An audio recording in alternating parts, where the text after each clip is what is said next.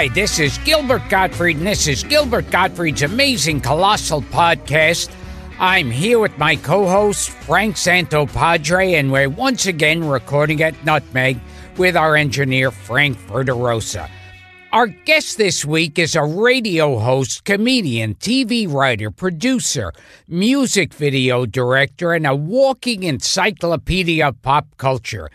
He is the creator and host of the wildly popular internet call in comedy program and podcast, The Best Show with Tom Scharpling, which New York Magazine described as a freewheeling three ring circus, and GQ called a tribunal for all that's false and undeserving in the world and comedian Aziz Ansari. Close. Said, yeah, I, I know I'd fuck that one up. Aziz Ansari. Aziz Ansari. Well, at least you said I'm sorry. yes. Uh, people who like the best show don't just like it. They want to turn it into a woman and make love to it on the beach on some weird magical island. He's also been a writer producer on TV shows such as Tim and Eric, Awesome Show, Great Job, Tom Goes to the Mayor, Monk, and the Jack and Triumph Show. As well as uh, today is his last day on, on divorce. He's no longer working on divorce. So if you see Tom Scharpling, don't go up to him and say, hey, congratulations on that divorce show. It, I, I heard it's doing better than ever. They're tripling oh. everyone's salary on that and giving everyone free tickets to Europe. On, and, and a yacht, for mm. God's sakes. Oh Oh, God! And, and he's a sought after voice actor. Not that sought after, Yeah, apparently, yeah. as of today. If if you're not working for the show Divorce, he's sought after. He's a sought after voice actor with appearances in shows like Adventure Time, Aqua Teen Hunger Force, and The Simpsons. Currently, he co stars as Greg Universe in the Cartoon Network series Steven Universe. But he has nothing to do with the show Divorce. More than you want? Okay, fine. He also contributed to The Onion, written and directed online. Comedy features for Funny or Die collaborated with performers such as Jon Hamm, Bill Hader, Paul Rudd, and yes, even Gilbert Gottfried and directed music videos for everyone from Aimee Mann to the new pornographers. He's also released six albums with his longtime comedy partner John Wurster under the moniker Scharpling and Wurster. Please welcome to the show a big fan of this very podcast. God help him, and a man who once wa- What's that? waged a Twitter war with Love Connection host Chuck Woolery. The man who is no longer on divorce. He will not be invited to Sarah Jessica Parker's uh, birthday party. or um uh, what oh fuck I forgot his name. Matthew Broderick. No, no, no. Oh, Thomas Haden Church. Oh yeah, Thomas Haden Church uh, will not be having lunch with him any day soon. So I'm the sorry to help, Tom. hungry, because he'll never be at any parties or having lunch with any of those two people. Multi-talented Tom Sharp. Oh well, thank you so much with that. That heartfelt, really fits the mood of where I'm, I'm at. That oh, thank you. Now, my first question: Yeah. What's it like working on divorce? Well, from what I hear, Um, no, it, I worked on the first season, and I'm not gonna work on the second season. That's all it is. Could you please tell us why? Could it? Uh, it just it's just there's different people, and it's a change in guard, and so I'm a, I'm part of the old guard, and there's a new guard, and I'm It sure, happens. yeah, it It's happens. The nature of the business. That's how it goes. But in your case, there's no God yeah, because Oh, no. you're not on yeah. No, in my case, my life is essentially over. I'm doomed. It's just the. I was, I was thinking about it last night. that I'm just at this point. I'm just praying that um, I'm in like a bodega or a convenience store, and then there's like a holdup, and I thwart it, and then get shot. Like regarding Henry. and then that's how I go out as like a hero that I could could shot in a 7-Eleven, and then it says hero podcaster that seven Or- that saves people at 7-Eleven. Or you could stop a holdup and then be shown what your life could have been by Don Cheadle. Sure. And uh-huh. so, all right. hey, what's your feelings about Téa Leoni? Um. Where did that come from? what the hell? I was I was studying it all. What the hell? What you're feeling? That's Or- why he or- was. That's why we invited Or Sergio. Leone, for that this matter. is well i guess téa leoni i don't know what is she has some show now that i haven't seen where she's the madam secretary Yeah, she she was in that movie with Don Cheadle, Which the one? married man. Oh, the one with Nicolas Cage. Horrible, Yeah, horrible the cat. It was like a movie. Capra, warmed over Capra. Oh, God, Yeah. I horrible. never. I, family man i she, think it was She called Yeah, Family plays Man. these parts that get on my nerves to no end. hmm yeah she was in a movie called spanglish that she was pretty oh, rough in Wow, yeah. yes, where it's like whoever wrote that i mean it was i think it was james James L. L. Brooks, of all people. i th- it just felt like it was not like he was putting every negative thing coming out in the movie came out of her mouth and Oh yeah, He got criticized for it too. For Yeah. such an unflattering portrayal. Yeah, that was a, and that's a movie. That's an Adam Sandler movie, and you end up. It's a pretty huge accomplishment to watch an Adam Sandler movie and you hate someone else in it.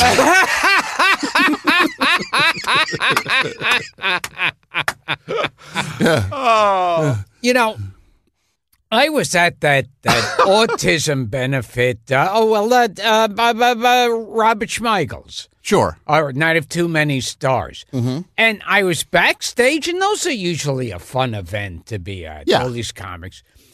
And out of nowhere, I'm sitting in the makeup chair, and Adam Sandler comes by and says something like, you know, if you had been my friend years ago, you could have been in all my movies.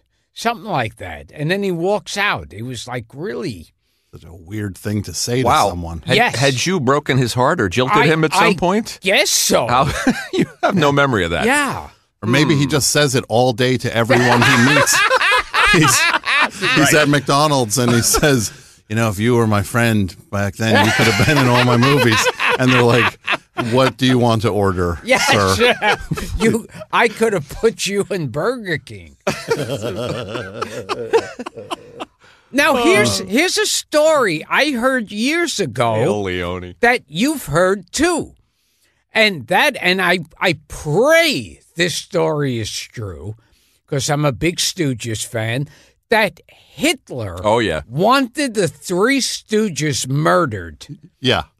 That was that was one of the things that was in the Cliff Nesteroff book. That's right. The- Yeah. What was it? The Yeah, the comedians. comedians, yeah. Yeah. Our friend Where- Cliff. I know they did the two films, uh, uh, uh, those Nazi spies, and I'll never heil again.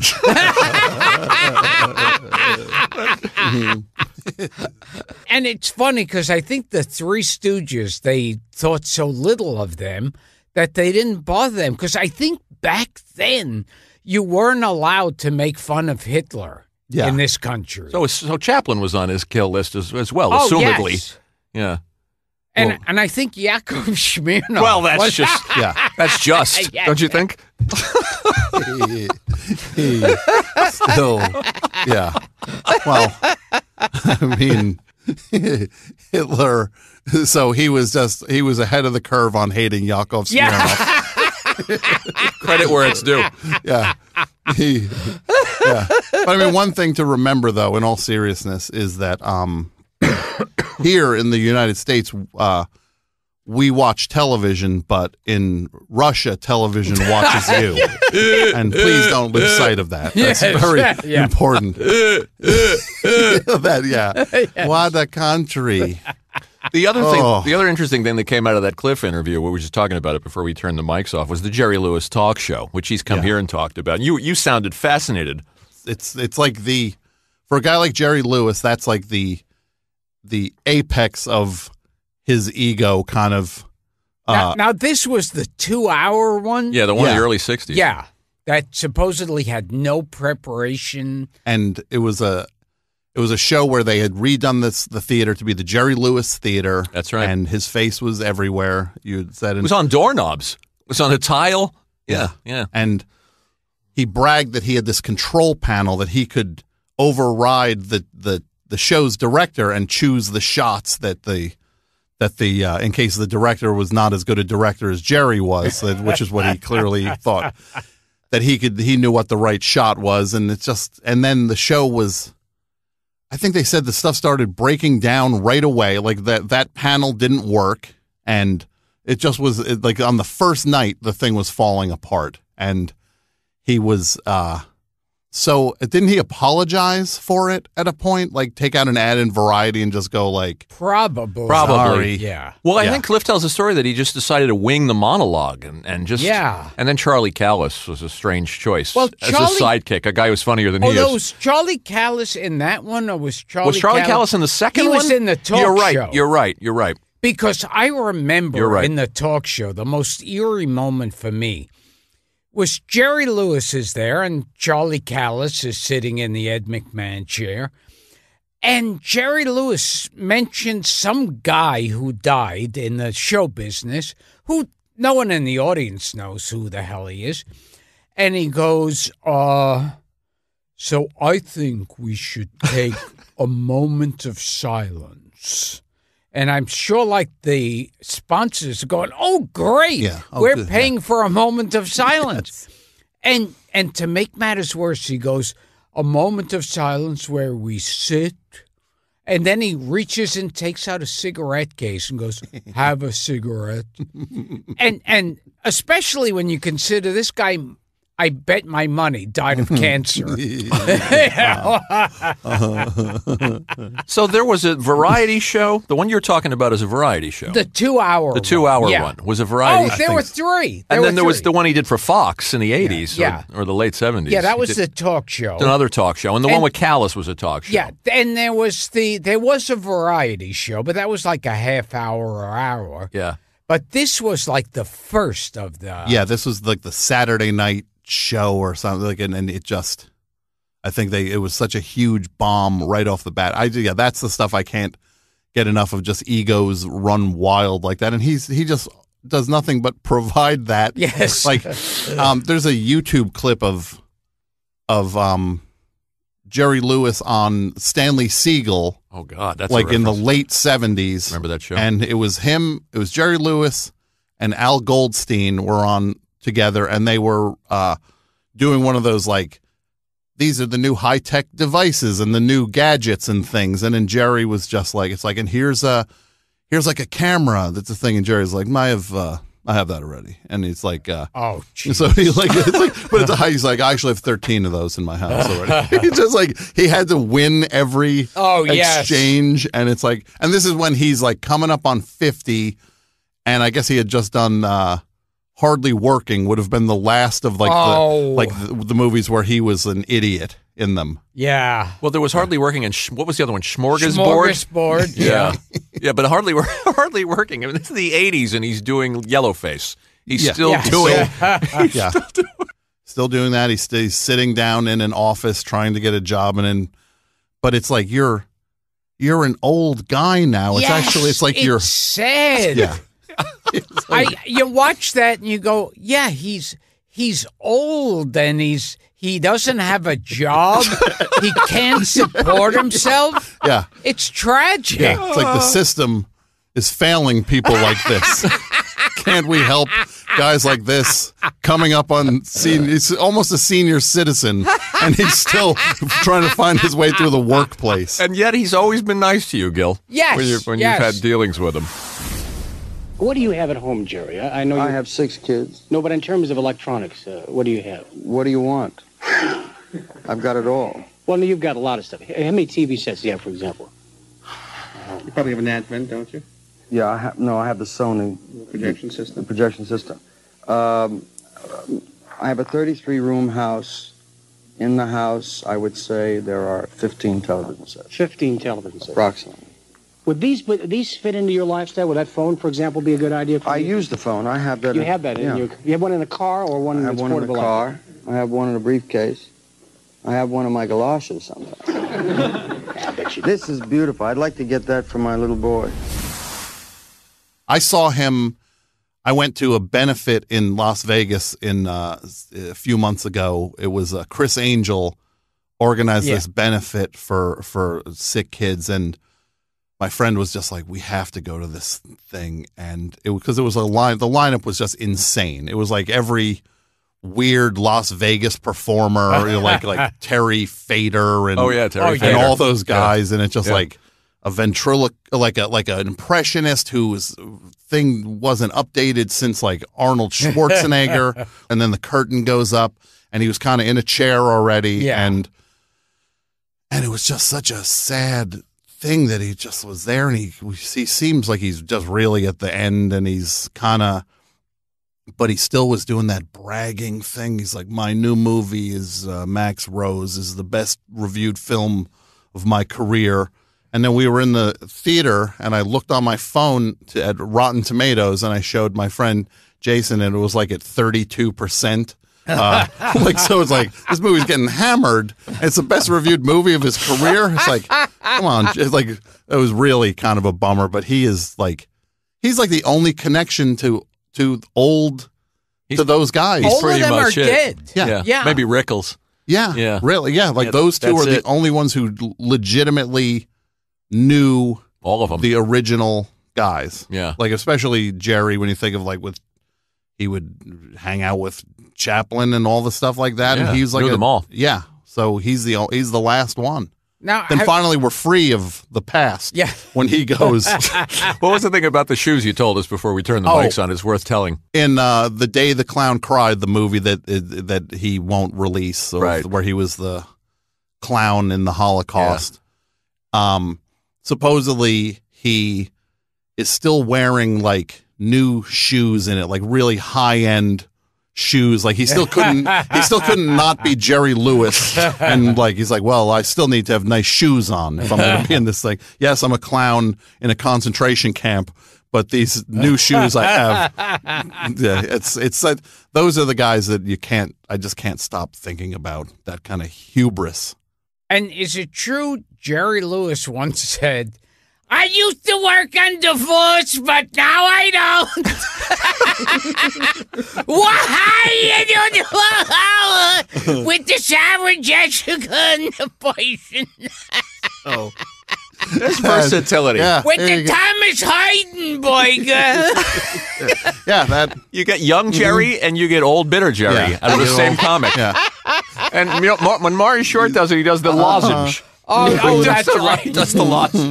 oh yeah, the cough and the yeah, yeah. I think that that's a pretty good. That's the voice I hear in my head now.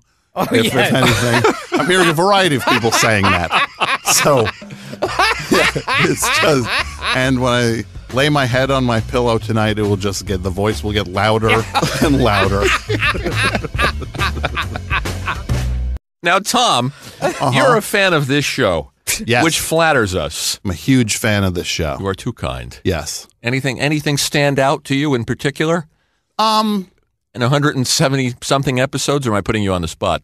Oh, I, I just like I, the Larry Storch one. I thought was fantastic. No, Oh, that was one of our first. That was great. Um. We got to sing the F Troop theme And with Larry.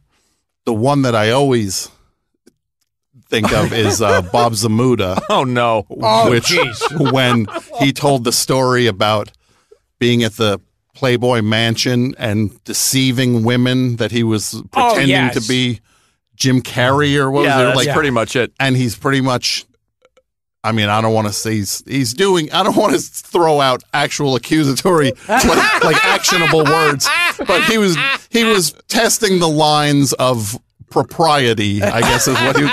Pre- Because if you pretend you're somebody you're not and then sleep with them, that's that's like illegal, right? Isn't that in some way? And he's bragging about it, and it's like this is like Yeah. this is like a confession. Like he should he should check the statute of limitations on this. He might hear this in court. Like he'll be sitting at a table in a courtroom, and then somebody will press play, and he hears this. Po- here's your podcast. You never know what people are going to say on this show. And then it's also the thing of he and and uh, Andy Kaufman, Mm-hmm. who made their lives like bullshitting everybody. Yeah, you gotta wonder each story he tells. yeah. It's always where he'll tell these stories, and then you're just like, well, there's nobody here to. To, Yeah. to, to, to, to contradict what you're saying, where he'll be like, and then I went, and then it was just. He tells us one story about a donut shop. Did you ever hear that one where he's like No, he worked so. for he worked for Norman Wexler, the screenwriter, Sure. and he would in his book he called him Mr. X, and he was just like this guy who would like he went into the donut shop and they wouldn't sell him the one donut, and then he bought everything in the donut shop except that one donut, and he had everybody taking their tops off, and he was throwing money at every. It's like this is not true. it's just like this is just science fiction, but, but that nobody is around to say like, Bob, you're making stories up now, and you know there are these. I, I always wonder with these Andy Kaufman things, as if like Andy Kaufman is just like somewhere like on the other side, like banging on a thing like. Like no, he's not. This that didn't happen either. Like he's, I that was my idea, not hit. Like he, like he he seems to inflate his role in Oh, everything Yes, yes. to where it's like I you got to call bullshit on on his uh because you know Andy Kaufman was probably just like man how do I ditch this dude like I, I gotta get rid and then then the like the phone call when Bob is just like hears he's gone and he's just like I guess I'm the keeper of the flame now forever and because he these- does he does the thing of like is he still alive it's yeah, like he pushes that pretty hard. isn't that gross in a way it's oh, like yes. is he fake his death? It's like he would be 78 now anyway if he faked his death. Like he would have died of natural causes Like, already. like Jerry and Smorgasbord. so you grew up in New Jersey, mm-hmm. local boy. sure. What did you watch? We ask everybody that. I know you listen to comedy albums because I heard an interview Yeah. with you. A lot of Channel 5, a lot of Channel 11. Yeah, local stuff. Yeah. our stuff. Yeah. Million dollar movie. Sure. I Yeah. always remember like uh, there was a thing called like uh, when you when I'd come home from school, there was a thing called TV Picks. Do you remember that?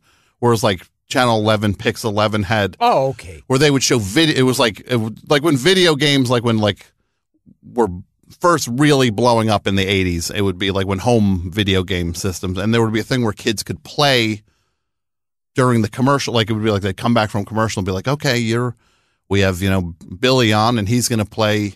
The game now, and it's like the spaceship is shooting, and the kid would go picks when it's time to fire the thing. I remember that. Right. Oh my God, I haven't thought of that Yeah. in 30 years. and there'd be like a football one where you'd have to say picks for the quarterback to throw. It's like there's no way to time this thing. You know that the, like because it's there's a delay and everything. There's just no way. And but then when it would be the one shoot game, the kids would just scream like pick, pick, pick, pick, pick, pick, pick, pick, pick, and then they'd win. It's just like.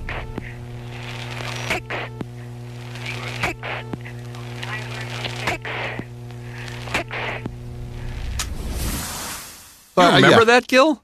Oh, yeah. This would be the 80s. Yeah, Yeah, yeah, that was the Yeah. 80s. So, I, I remember watching TV back then. They always had the Bowery Boys on. oh yeah, especially when like a like a Yankee game would get rained out or something. Suddenly it would be like, it'd be like, oh, here's the Bowery Boys are on. like that's how I found out about all that stuff. Is just like, you look, it's raining. Here's there's Huntz Hall now. There he is. Yeah, and uh do you watch Antenna TV? Oh Do you watch yeah, Antenna? yeah. Well, it's called yeah. There's Get TV now. Yeah. There's Antenna, and of Yeah. course there's Me TV. yeah. There's all these channels just running I know nonstop.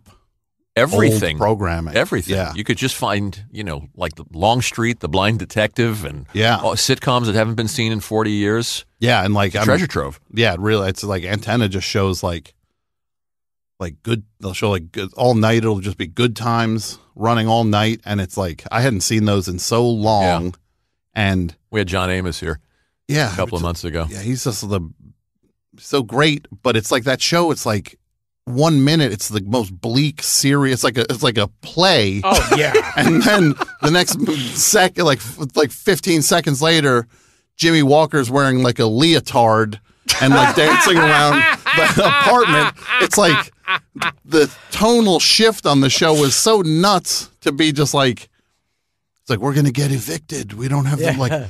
You got fired, James. What are we gonna do? You have no money. And then this next thing, he's like, dynamite, and like, Well, that was the, uh, that was the pull and tug. That was the, the that Esther Rolle and John Amos were trying to take the show more in that Yeah. direction, I- I- and they resented Jimmy doing Yeah. the, Oh the yeah. chicken they, chicken they hat. hated him. That is that must just be the the weirdest moment when someone breaks out on a show that's not supposed to break out like Michael J. Fox on Oh, yeah. Family Ties where Yeah, yeah. I mean that was supposed to be a show about this couple and then suddenly everybody wants Michael I heard J. Fox. The, the mother on the show. what Meredith Baxter Birney. Yes. She she grew to hate Michael J. Fox. Where do you get this information? Like, And she used to like him to shit on a glass coffee. oh, table. stop that now! I think you're mixing your celebrities Yeah. up. So you, I think, yeah, you got your mixed urban myths there. it's getting a little blurry. One of your influences. This is an interesting a bit of confluence. One of your influences was SNL. In, Oh, yeah. in, in the day. Do you remember Gilbert's season? yeah, Oh, Yeah. jeez. when you and uh, let me see who I can name from that. Okay, season. let's see. This will Let's see. impress us. Gail Matthius, Yes. Wow! Yeah. Archie got a hard one right off the bat. Benny Dillon, Yeah. Tony Rosato, who just passed No, away. no, no, no, he no. was later. later. He came later. Okay. later. Later. Um, well, Charles Rocket. Yes. Yep. Um, well, J- Joe Piscopo. Yes. Eddie Murphy. Yes. You're doing well. Um, uh, let's see. Uh, was uh, Gary Kroeger there yet? No. He came No, later. He was later. Um, man, I'm now I'm blanking. I'm trying to picture. George Coe was not a part of your No. run. George No. Coe was on the original in '75. George Coe was the four. I think he had a four episode run. Yes. he was. He was. Just He yeah, Mm-hmm. would be for the radio parody. I mean, the commercial yeah, parody. yeah. The, So one, the one you didn't get is the one nobody gets. well, Robin Duke. No, she No, came no, later. later She on. came later. She okay, came. She Like came two with years- Ebersole All right, after Jean Doumanian was deposed. sure, But the one nobody gets is Anne is Ann Risley. sure. That's that's yeah, that's a good one. Yeah. Yeah. And Denny Dillon. He said Did you that. say Denny? Okay. Yeah, Yeah. yeah. So it was it was just the four guys. It was you, Piscopo, uh, Charlie Rocket, and Eddie came not at the very beginning. Eddie, Eddie, uh, when he was originally hired, was a featured player. Who the hell are we But forgetting? Later on the season, they did make him a regular cast member. Right, and the women were Denny, Gail Matthius, and Ann Risley. Yes. and that was it. Yeah. Right, and Harry Shearer doesn't talk to you anymore Yeah, because oh, yes. because of what you came out and said. Be- because we're doing a thing where we all introduce ourselves. And my, you know, and it's like, I don't know, Charlie Rocket comes out and says, I'm Charlie Rocket. I'm kind of a cross between uh, Bill Murray and Chevy Chase or something like that. And mine was, um, Hi, I'm Gilbert Gottfried. I'm a cross between John Belushi and that guy who used to do the imitations who nobody remembers. so Not even your uh-huh. fault. It was a it was a yeah. scripted line. And and Paul Shaffer is the way I found this. Paul Shaffer said to me, "You, you know, Harry, Harry Shearer hates you." because you read a line that Yes. was written for you. Yes. And then we, we told Michael McKean that, and he said he said that you're in you're in a lot of company. Oh yeah. There's a lot of people Harry dislikes. We should put that to the test. We should we should just have the balls to call him up and see if he wants to do the show. oh yes. See if he's holding the grudge. Yes. But meanwhile, didn't he make a shitload because he held out on The Simpsons? Of course, Well, I mean, it's been going for 28 he would have made it years anyway. now. Yeah, But but, he held out for Mm-hmm. more money.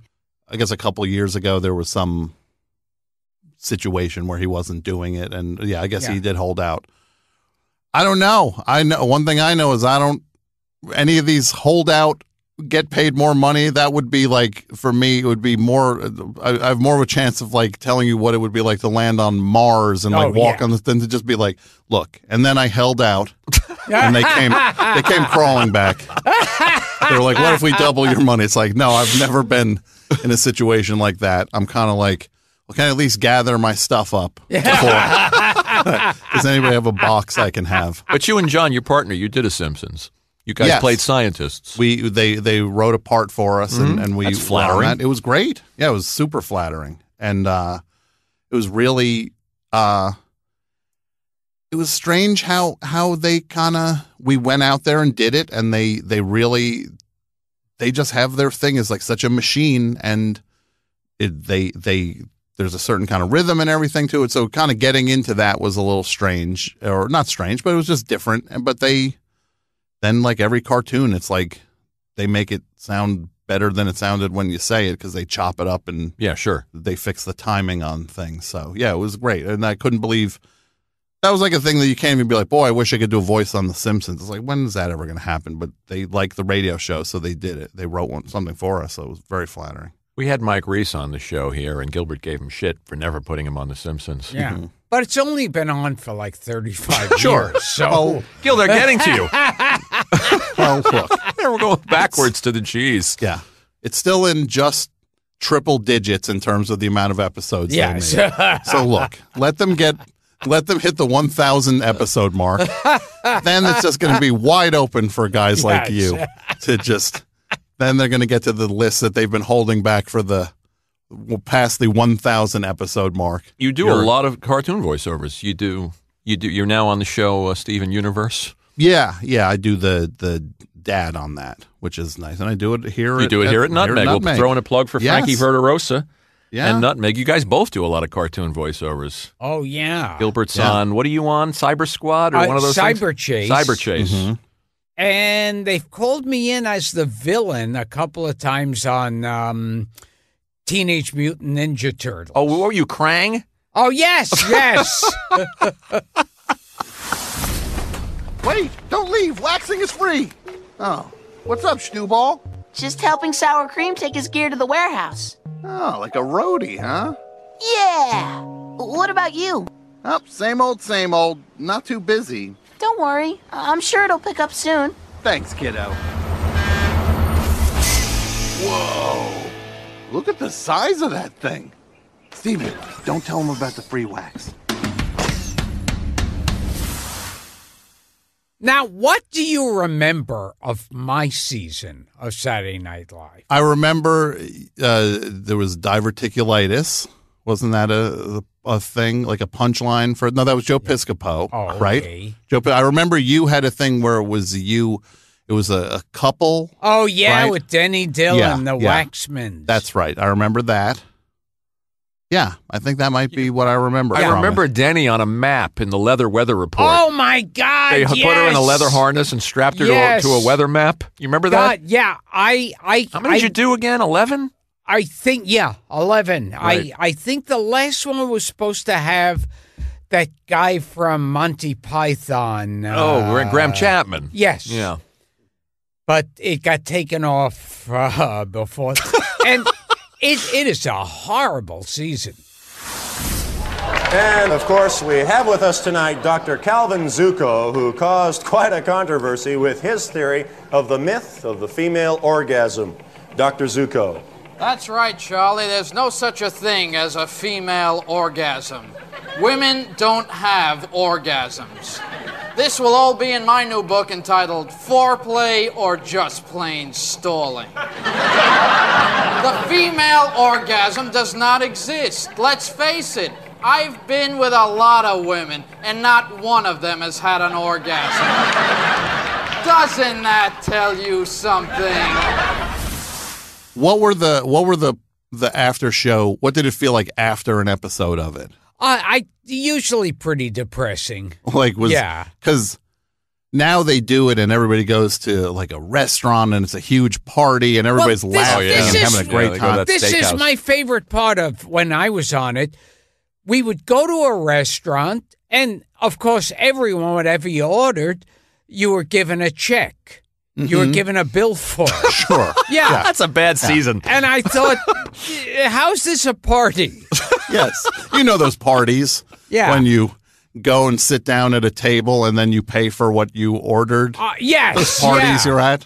Yeah, it's like I was at one of those parties earlier at uh at uh, at uh, uh Pret a Manger. I was at a party Oh, yes. earlier and I ordered a thing and a bottle of water and then I was having a real party and I paid eleven dollars. it's like going to a party at someone's house and going, okay, well, you had two cupcakes and uh, Diet Coke. yeah. But what were you guys always talking about? Did it feel like this thing was going to end any minute, or was it? It, well, I what was so it was like I I always say it's like um back then to do uh Saturday Night Live without the original cast Mhm. was like if in the middle of Beatlemania Yeah. you said John Paul, George, and Ringo are leaving. We've got four other schmucks, and we want you to cheer. got, for we got them. Beatlemania. Yes, yes, exactly. Right. And so they were already panning the show before we even got on Oh. the air. Yeah, you guys were cannon fodder. Oh, it was horrible. for the for a larger thing and so yeah so you're doing that but but in the midst of that eh, did the eddie murphy thing feel different than everything did it feel like there was this like kid who's on fire Uh, I, I, I think he did one thing where he introduces himself on the news segment Mhm. that got big laughs, and then at that point, everyone said, "Oh, okay." yeah but did you see it I, I, I don't know. I liked him. I thought Mhm. he was funny, but I can Mhm. never say. I, I would like love to take credit for everything. yeah well i mean the one thing i will say is that if if you had just been friendly with him you would have been in all of his movies Ah, that's a pro. Yeah. A pro does a callback. Yes. and well, he turned and up and won. Had yeah, uh, yeah, Beverly Yeah. Hills Cop two. Yeah. And but had I been friends with him, Eddie Murphy would have made Grown Ups, which was a piece of shit. By the way, did Yeah. you see that? i uh i've seen parts of it on things This may be the angriest show we've ever done. yeah but thank god they did grown-ups too Oh, for all God. the questions they didn't get to answer in the first one of you know you weren't sure if uh, kevin james was going to uh, just if he was going to uh, crap crap his pants at the cookout Speaking of SNL, Yes. there's that fu- there is a video, of the opening scene Yes. of the first show with you, all you guys in the dressing room with Bill Murray, which is Oh, kind yes. of fun. And he tousles your hair Oh at, at my one God! point. Yeah, Yes. yeah, it's very surreal. wasn't there a thing where you guys were in bed wasn't there a Uh, giant yes, Yeah. yes, and Yeah. we all like. Uh, Yeah. that might have been the one where we all introduce ourselves. Okay. I don't know. Yeah, I'm trying to remember. I get them all mixed up. So th- they're not really available anywhere. Thank God. Somebody must have them. Oh, I'm sure. Yeah. But Yeah. they were putrid shows. and was jean doumanian could you feel her like did, you, did it just feel like she was the wrong fit for this thing the whole time Well, I, I will say that at the SNL 40th party, Mhm. uh, she got angry at me. And Uh oh. You didn't tell me this. yeah, You told yeah, me Lorne paid she- you a compliment. Lorne, yeah, that was amazing. Lorne Michaels paid me a compliment. that's nice Yeah, but she was angry at me. Well, because one time I went on one of these Saturday Night Live remembering shows. Uh huh. And and I just was trying to be funny, and I said that Jean Doumanian is the type of woman who watches a Marx Brothers movie and goes, "Well, Margaret Dumont's funny, but who are those other three? And I think she didn't see the humor. Oh, she to took this. that the wrong way. Yeah. That yeah, that's so she sought you out at this party. Yes. to tell you. Even worse, I said hello to her, Uh-huh. and she walked away angry and dejected. Yeah, they seemed very healthy, carrying that anger. You were see that's what was wrong with the whole thing. If only you hadn't said that. It's just like, like it just didn't. Can we just all move forward Oh, from yes. that? Well, like, te- yes. Tell Tom the story, and you've told it on the show, but it's worth telling. And Tom, maybe Tom hasn't heard it of of uh, how you knew the writing was on the Oh, wall. oh my God! Oh my God! Uh, uh, they they um they fired Jean Doumanian, sure. and then uh, uh, Dick Ebersol was coming Seems like a very funny guy. Oh, you remember what Franken said about him? Yeah. What did he say? He said, "I've known Dick long enough to know that he doesn't know Dick." and and and Ebersol Uh-huh. Takes us all together and says, Mm-hmm. "Oh, look, you know, I've been called in late. I'm not going to make any major changes. I'm we're going to take a week off, and then I'll tell you." And and so so we're waiting outside the office. And going in one by one to find out our fate. and while I'm waiting, there was a little table there where they used to throw the fan letters. So I saw one addressed to me from some girl in Wyoming or something. And I open it up and it says, Dear Gilbert, I'm so sorry about what happened to you. Hasn't even gone into the room yet. I love that. Then I had to come in and act surprised when I was fired. That's like that is hurtful. Oh my god. That's the craziest thing ever. You so you've no, you have no curiosity to go back and look at any of those. Not even like No, a, just just no. just just out of like God. no, they- not at all. I, I, I It's that cr- painful. Yeah, I cringe at the thought of it. There must because there are snippets on YouTube and there must be Yeah. scattered around. I mean, they were never put out Yeah. On VHS. The Marty Short season was never put out either. The the 85? It was on VHS. Yeah, the one the one where they did where Ebersol did the All Star cast with Harry Shearer and Billy Crystal and Billy and- Crystal yeah. and uh, the short stuff is great Mhm. in Yeah. that season. And the way people talk about that, that behind the scenes, um, like that was just there were two camps in the building. Eighty four, I think it was. It was okay. 80, yeah. Yeah. the 84. Like there was just there, these guys just stuck to themselves and they wouldn't like this. So there's this cast inherited of go of people just still working on this thing. And then like Yeah. these ringers come in and they just wouldn't, Right. they would just once in a while deem to let one of the other people be in a, a, one of their sketches. And Right. That it, there was definitely a hierarchy for those guys. Well, they were brought in as like murderers row. Yeah, they were yeah. supposed to be. There's there's a sketch. There's a um a game show sketch with with uh, Short doing Jackie Rogers Jr. the albino. That is Mm-hmm. Yeah. brilliant. Yeah. with and and they used Mary Gross and they used Jim Belushi as Captain Kangaroo. Mhm. And then it's just it's the one where where Crystal does Sammy and That's right. and Yeah. it's really Yeah. really funny. when he would be in full blackface on television. I was just Yes. go- I was Which just see going to anymore. say that. now that would not be allowed. It would kill uh, Billy Crystal's career if he came out in blackface. Yeah, he would. He still might do it though. He might think he could get away with it. I think his his ego. He's got that Jerry Lewis thing.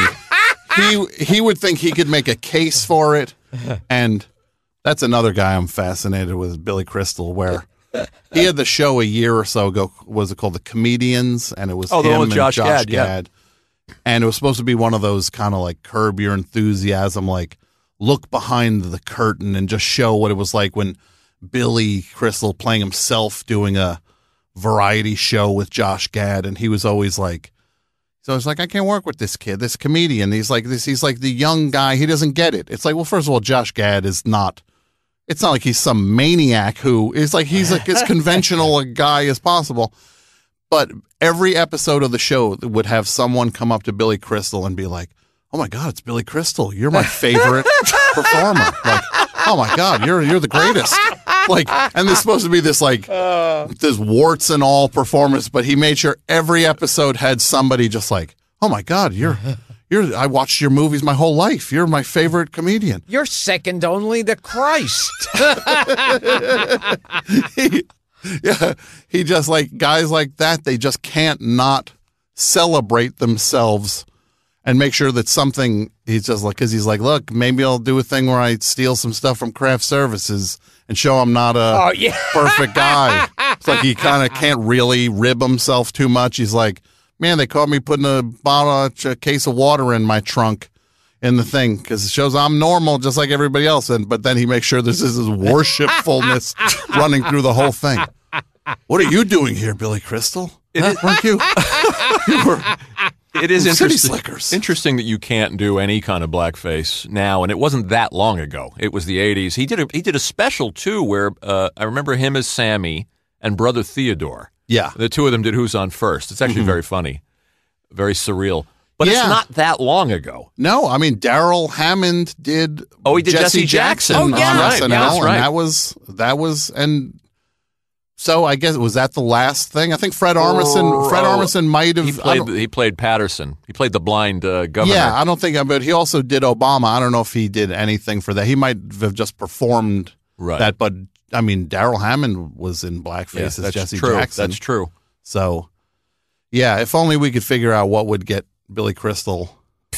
To, he, I heard a thing that he when he was doing that 700 Sundays, that show that like he would sell these baseballs in the lot, like like like at the merch table at the thing, and that they was just buying these like used batting practice balls from the Yankees.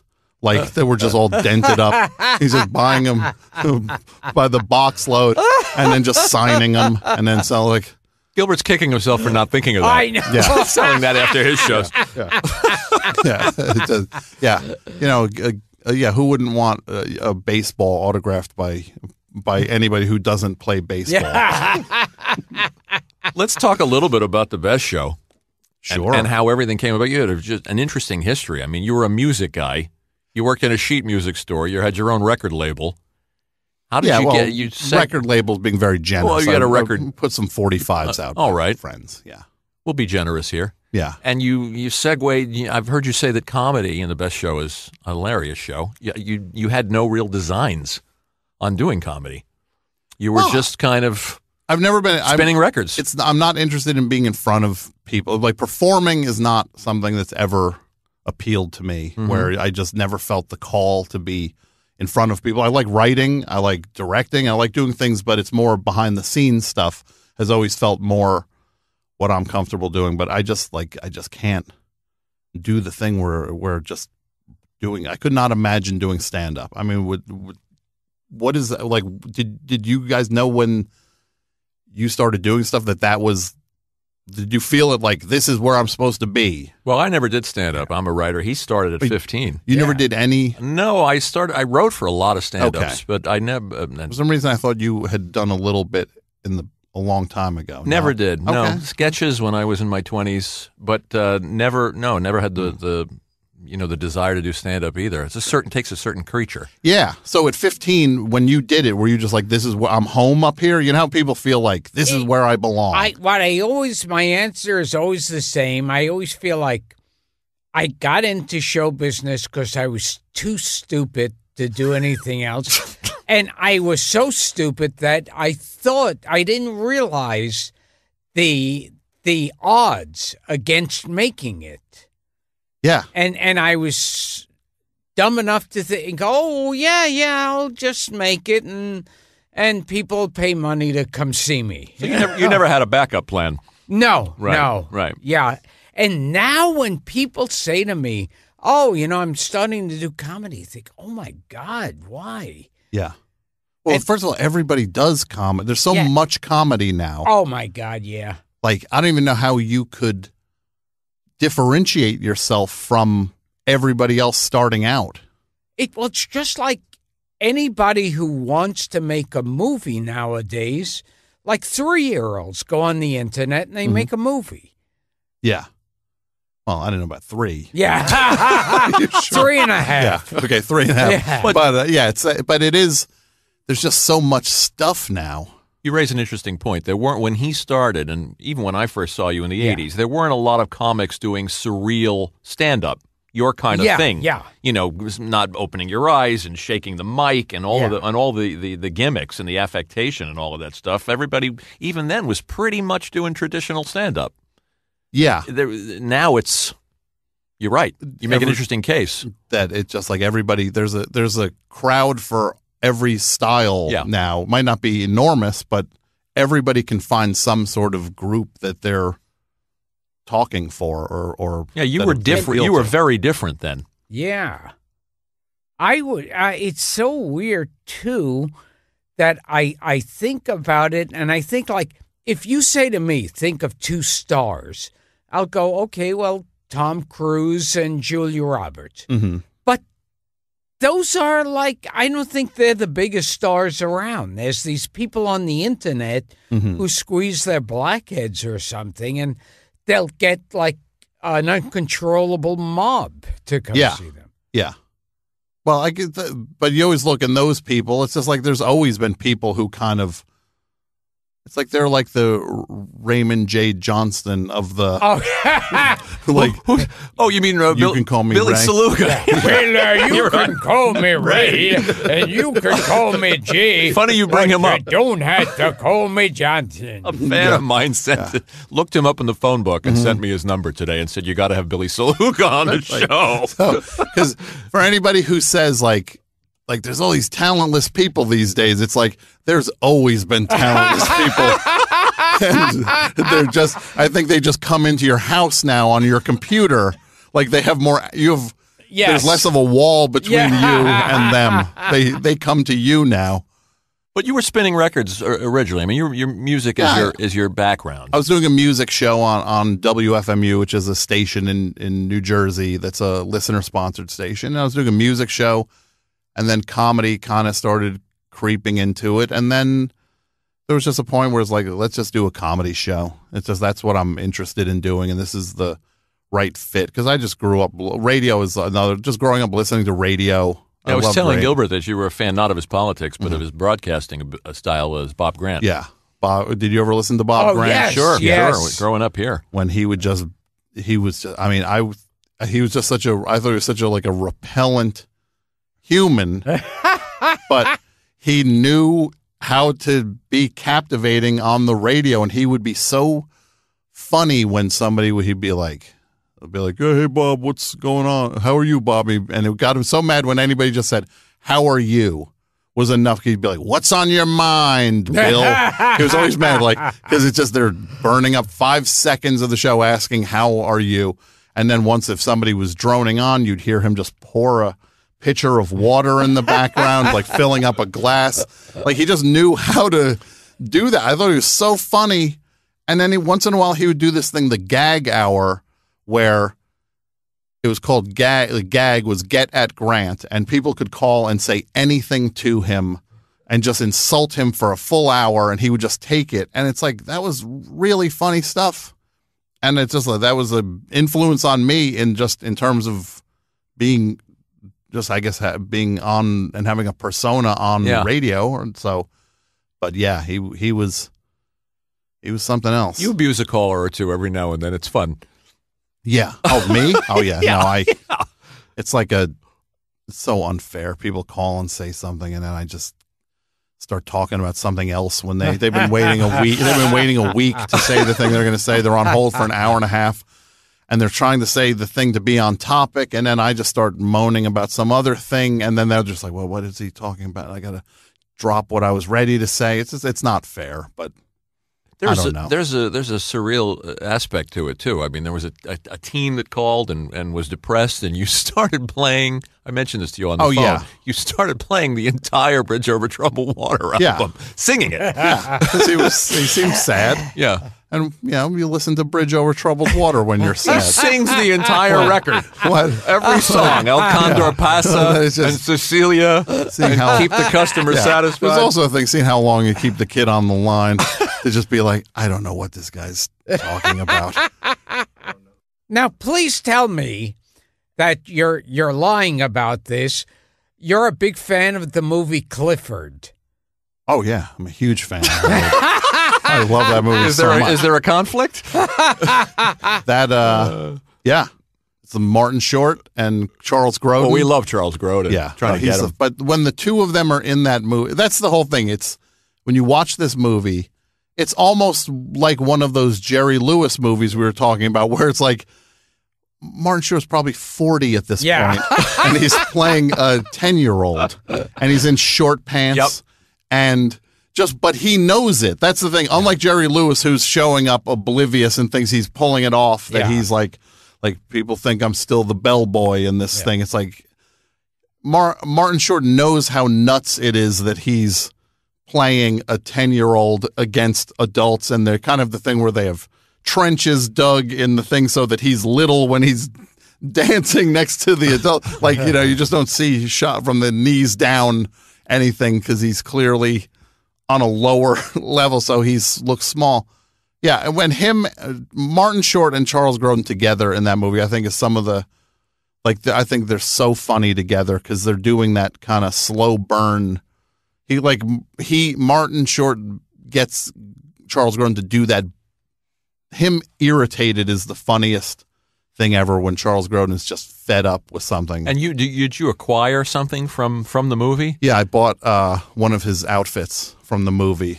Uh, I admire, I on- admire on- that. Yeah, so I have uh, the dinner jacket that Clifford wore to the big dinner party. You remember the dinner party scene? Oh, Gilbert, that when was so good. when he- Have you actually seen Clifford? Yes, I remember when the movie came out. Uh, Martin Short was at a press conference, and the reporters were going, "Well, why were you pretending you're a kid? Why didn't they just get a child actor?"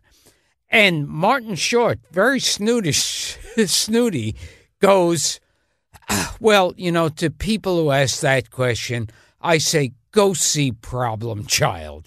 oh, so and this I is a, thought, well, thank you. that hurts. So yeah. So this is like and- the East Coast West Coast rap feud. Yeah, yeah, It's like yo, Problem yo. Child and Clifford. I didn't realize it stepped on the toes. So that, that was another great one. Alexander and Karaszewski's was uh, that was such a great one. You, oh you yeah, had yeah, we love guys those on. guys. Yeah. Yeah, Just We had- that We had shaky audio because we were in a, in a hotel room, but other than that, when when they said that for the second Problem Child movie that they wanted to shoot it on 16 millimeter.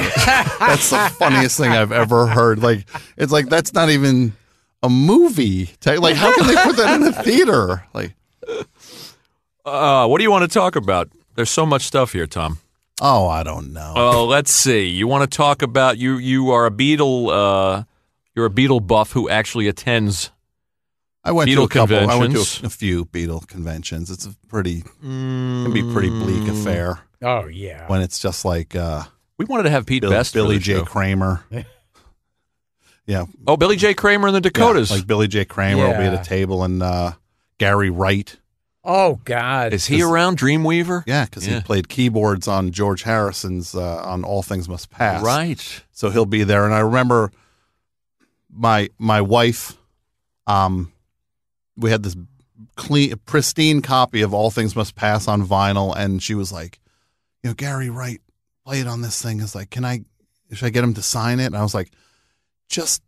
Just get him to sign like inside, like flip the thing open. You can sign the interior of it, and then she like walks over to the thing. Gary Wright like takes it and signs like almost on like right on George Harrison's face. Yeah. on the front. It's like I don't want. that's like ruined with Gary Wright's signature. It's like it's like you're not George Har. That's where George Harrison is supposed to sign the album, not not the guy who played keyboards on a few songs.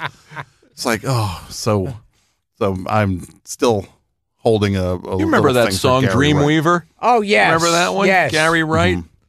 There's so much here. Well, let's talk, Yeah. talk a little bit about music. And uh, you've done shows. One of my favorites that I listened to was the worst songs of all time, and you took calls. Mm-hmm. And a lot of people brought up Starships. We built this city. Sure. Yeah.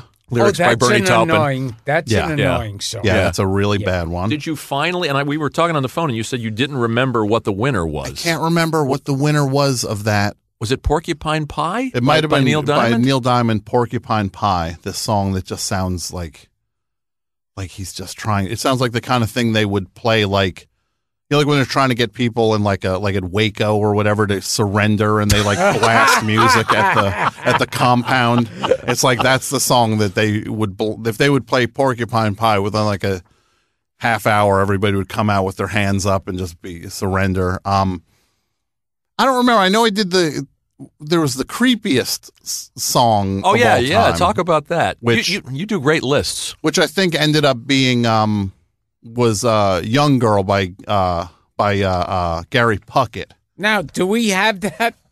Do we have Young Girl by Gary Puckett, Frank? Like if you look at the lyrics to Young Girl, it's skin crawling. Young girl, get out of my mind. My my love for you is way out of line. Better run, girl. You're much too young, girl. He's about two measures behind. With, with all the charms of a woman, you kept the secret of your youth. That's creepy. You led me to believe you're old enough to give me love. Let Tom do it. He knows the word. Oh, I, this is and nothing. now it hurts to know the truth. Oh, beneath your perfume and makeup, you're just a baby in disguise.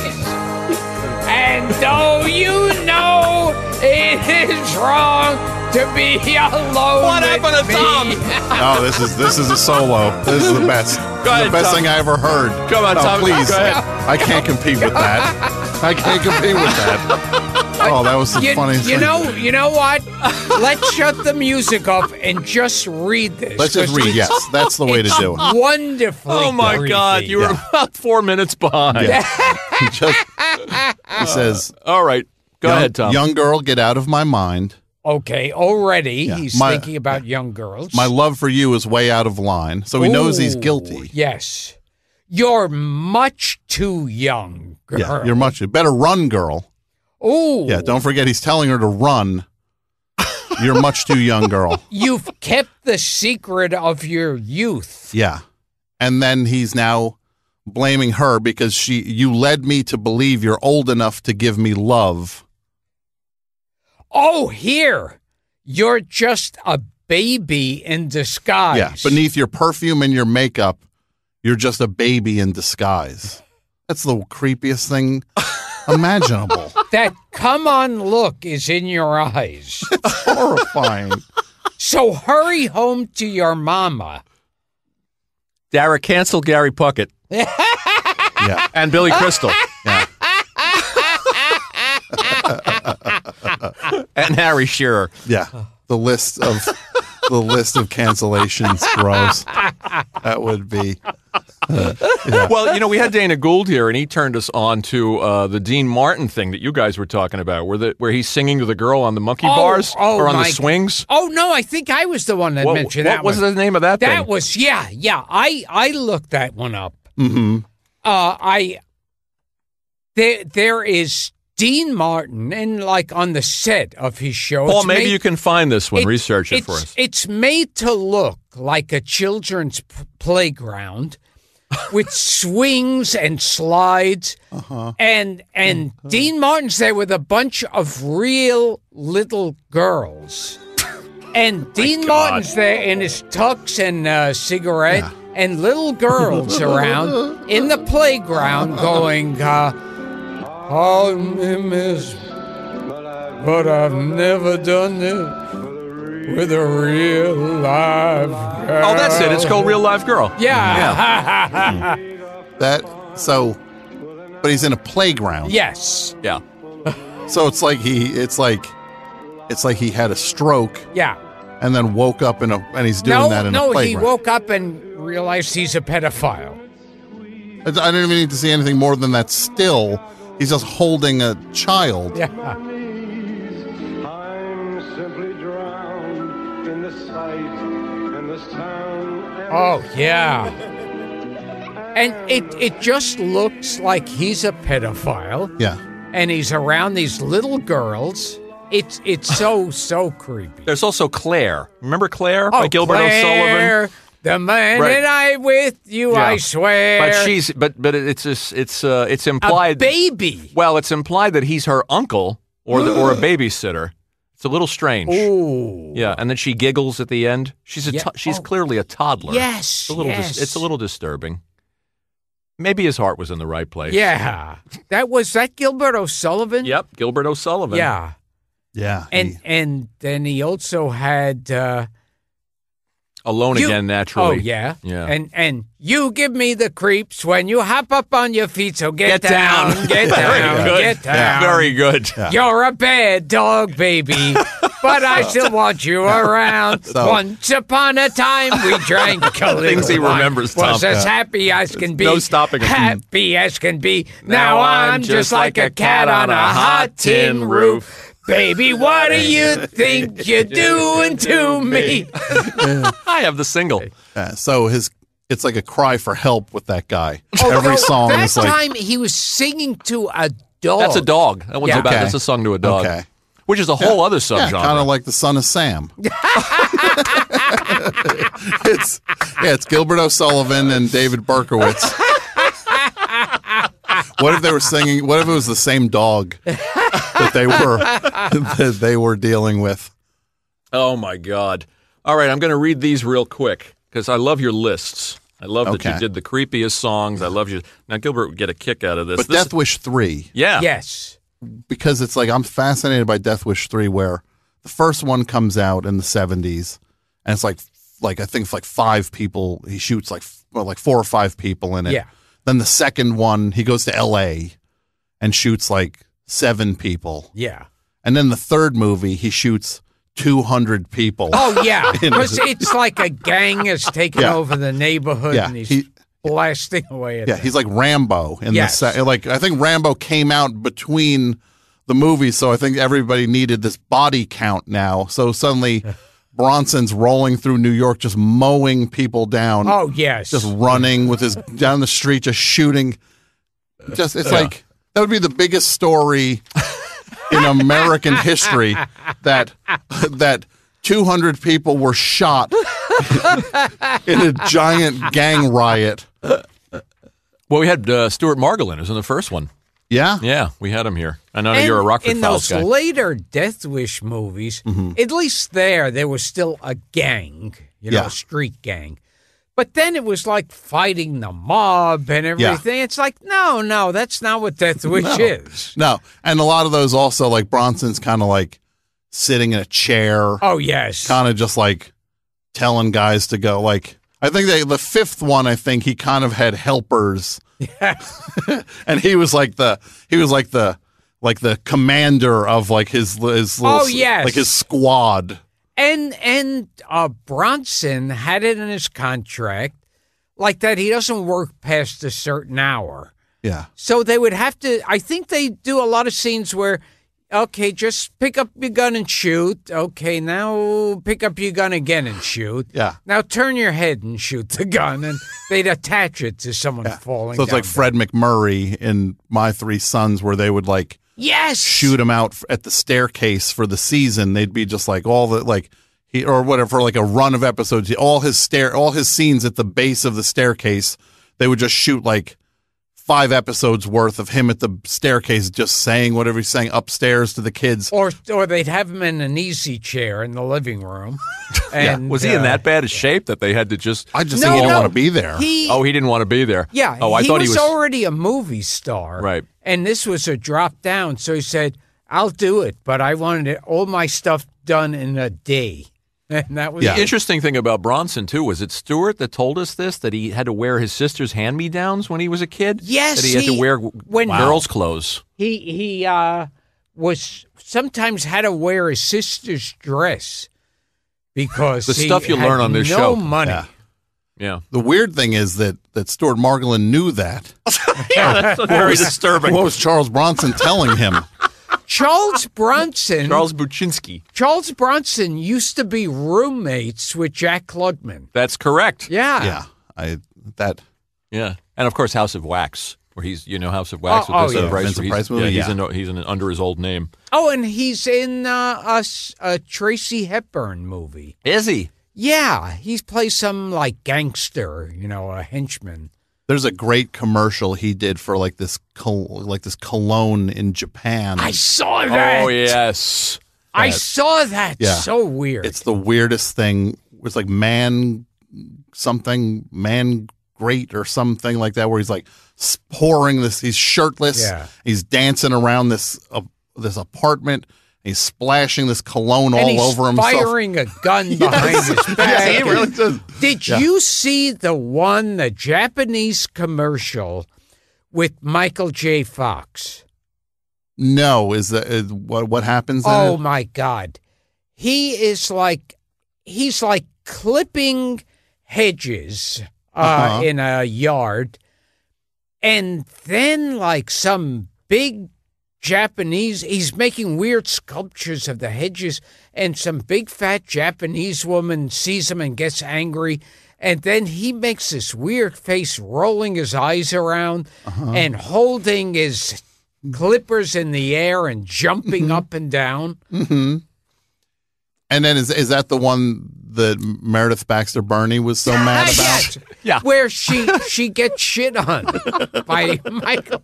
They bring in a very intricate Japanese glass coffee Yeah. table. Really? Well, it's actually glass And tea what was it- table what- because it's Yeah. Japan. And what were they advertising?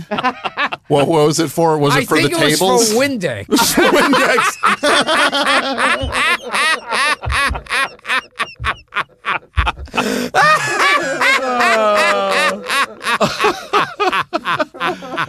All right. You know we're gonna get to these. We're gonna get to these lists when we the, the next time we have you back. Tom. Oh, my God, Because there's yeah. too much on here. Oh, that was Oh, God, we do this so much. Uh, what do you want to uh, plug? What's coming up? well. I do the. That's just like a wide open I know. thing You, for. you left I- out. I know it's not make divorce. sure to mention divorce.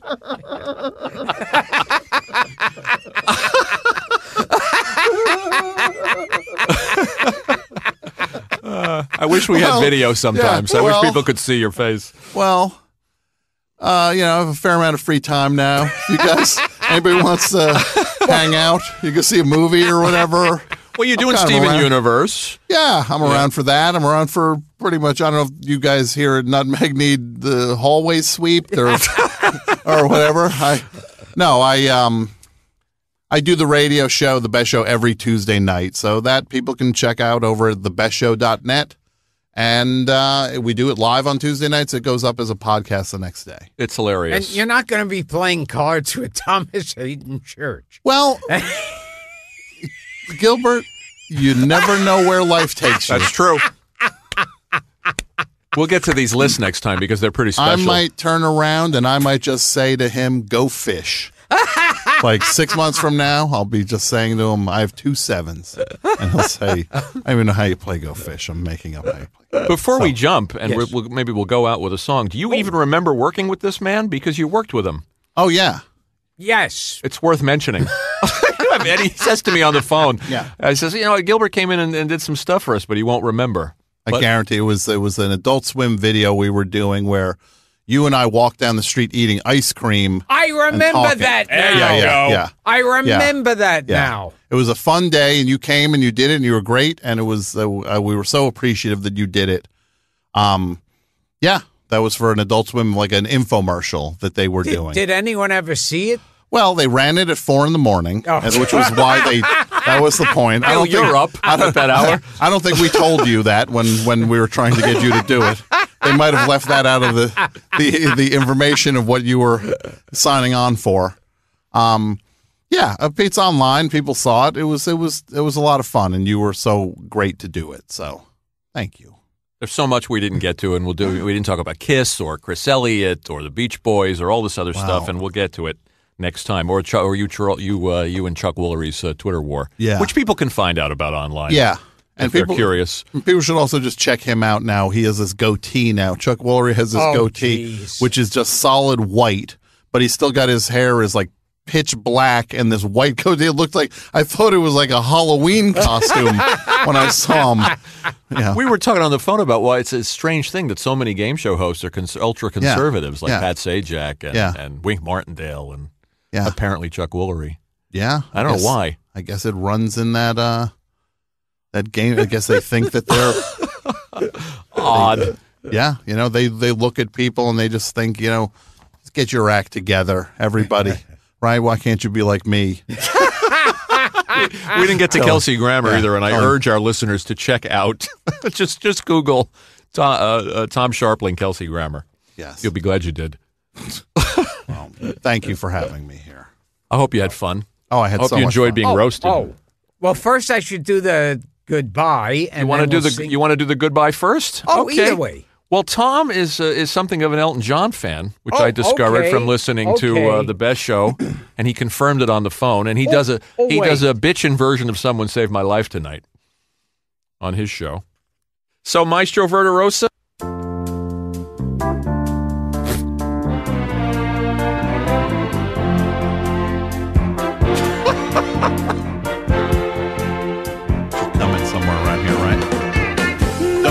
Don't go breaking my heart. I couldn't if I tried. Uh, honey, if I get restless. Baby, you're not that kind. Don't go breaking my heart. you take the weight off me. Uh, honey, when you knock on my door. Oh, I gave you my key.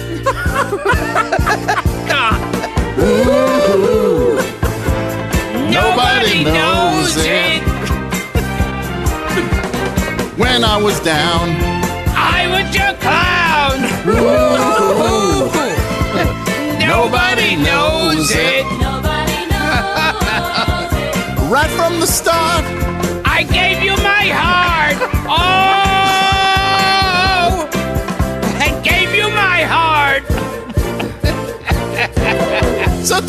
Breaking my heart. I won't go breaking your heart. Breaking my. Don't go breaking my. And nobody, oh, and nobody told us. Okay, slow down. That's the next part. Yes. And, and nobody told us. Cause nobody showed us. And now it's up to think we can make it. So don't misunderstand me. You put the light in my fire. Oh, you put the spark to the flame. I got your heart in my sights. Oh yeah. Ooh, Nobody knows it. when I was down. I was your clown. Ooh, Nobody knows it. Right from the start. I gave you my heart. Oh, oh I gave, you my heart. Don't go breaking my heart. I won't go breaking your heart. Go breaking my. Don't go breaking my. I won't go breaking your heart. Oh, oh, oh. Is that enough? Did we do it? Oh, oh, oh. I surrender.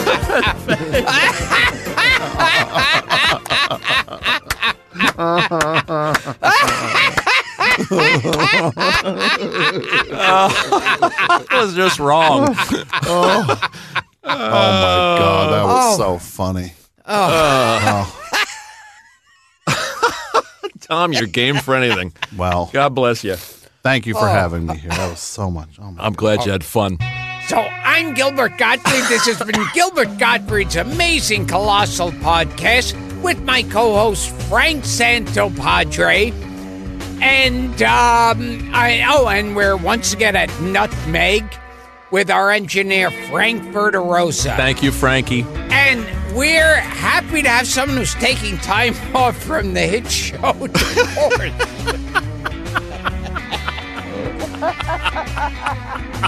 it's, it's always important to when you're in show business to take take a step out every once in a while so you can reflect and before you go back in.